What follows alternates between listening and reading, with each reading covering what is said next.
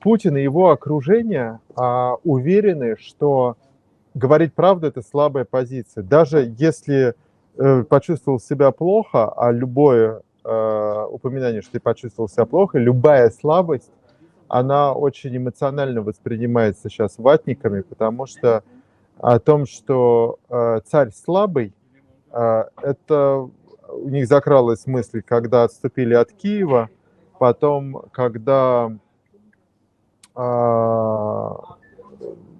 позволили э, ВСУ сделать прорыв э, к Изюму, и сейчас это просто а, а, по, по, по обеим щекам настучали.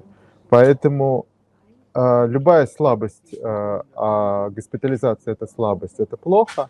Вот. И плюс они не верят, что они, они врут даже когда, тогда, когда не нужно. Потому что они не верят, что сила в правде. Потому что... Ну, привычка ну, уже просто. Просто привычка, привычка перманентно запутывать следы.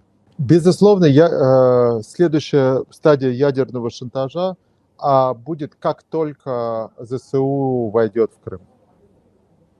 Безусловно. У меня даже... Э, потому что будет... Смерть Кощеева, она находится э, в штабе, э, военном штабе в э, Севастополе. То есть как там будет э, украинский прапор, то, в общем, и, и, и дальше вопрос времени.